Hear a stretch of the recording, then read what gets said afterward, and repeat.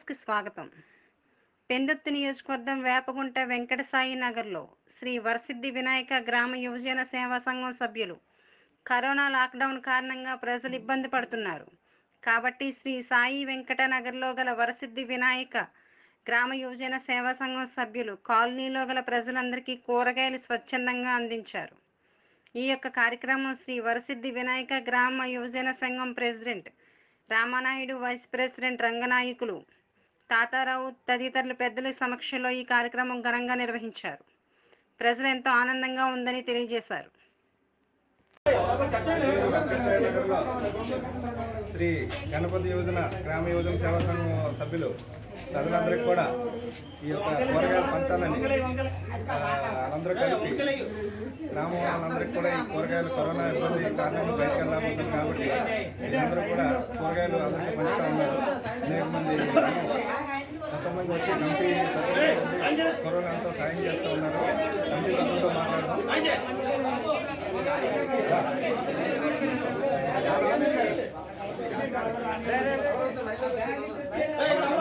మాట్లాడే ప్రయత్నం చేద్దాం.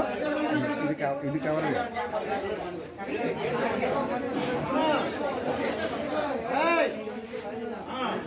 cover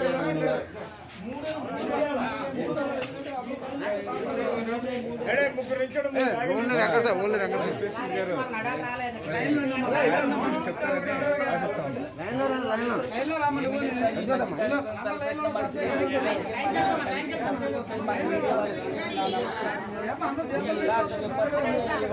చాలా ఉపయోగకరంగా ఉంది జనాలందరికీ మరి మరి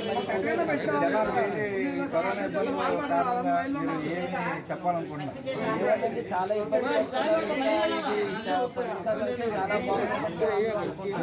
మీడియా ద్వారా ప్రభుత్వానికి మీరు తెలియజేయాలనుకుంటున్నారా? ఏం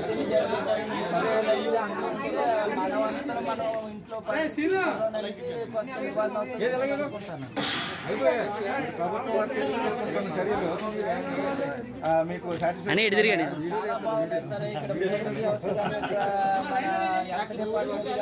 చాలా బాగుంది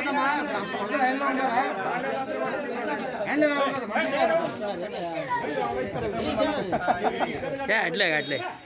మన ఈ యొక్క వాళ్ళ స్పందన తెలిసారు వైస్ ప్రెసిడెంట్ గారు. అదేవిధంగా మన ఇప్పుడు ప్రెసిడెంట్ గారు కూడా ఆయన మాట్లాడదాం ఈ కార్యక్రమం గురించి.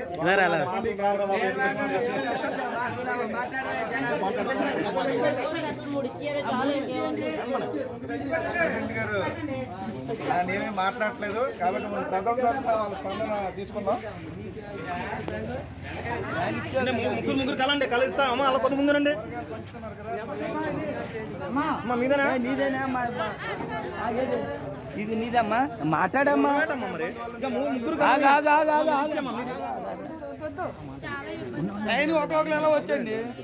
ముగ్గురు లైన్లు పంపించండి.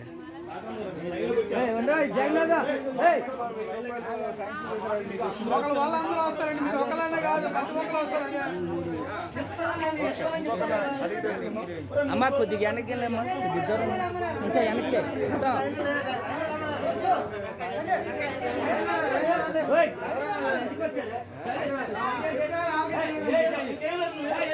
ఏదో బ్యాగ్ ఇచ్చారా?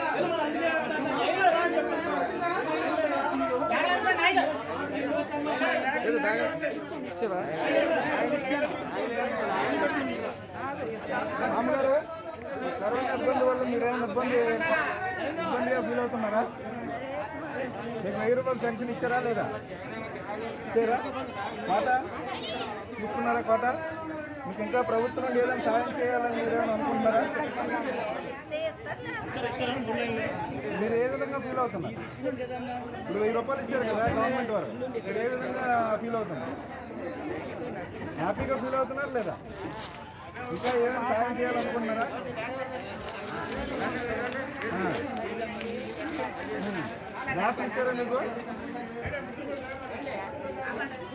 అది గవర్నమెంట్ గారు ఇచ్చిన వెయ్యి రూపాయలు చాలా మందికి అందాయని కోటా కూడా అందిందని చెప్పేసి ప్రజలందరూ తెలియజేస్తూ ఉన్నారు. అయితే ఇంకొకరిని కనుక్కుందాం. ఉన్నారు. పాపం క్యారింగ్లో ఉన్న ఉండి కూడా కూరగాయల కోసం వెయిట్ చేస్తూ ఉన్నారు. అయితే ఇదే విధంగా అనేక మంది స్వ- స్వచ్ఛంద సంస్థలు వచ్చి ప్రజలందరికీ కూడా కూరగాయలు కానీ పాలు ప్యాకెట్లు అదేవిధంగా పాలు ప్యాకెట్లు కూడా వారు పంచారు. రేపు కూడా ఏదో కార్యక్రమం ఉందని తెలియజేస్తున్నారు వీళ్ళందరూ కూడా ఎంతో ఇబ్బంది పడుతూ కూరగాయలు అవి తీసుకుంటూ ఉన్నారు. గవర్నమెంట్ వారు కూడా ఇంకా సాయం చేయాలని ప్రజలందరూ కోరుకుంటూ ఉన్నారు. Cameraman Naidu reporter Shankarrao Venkata Sainath Naidu Thota.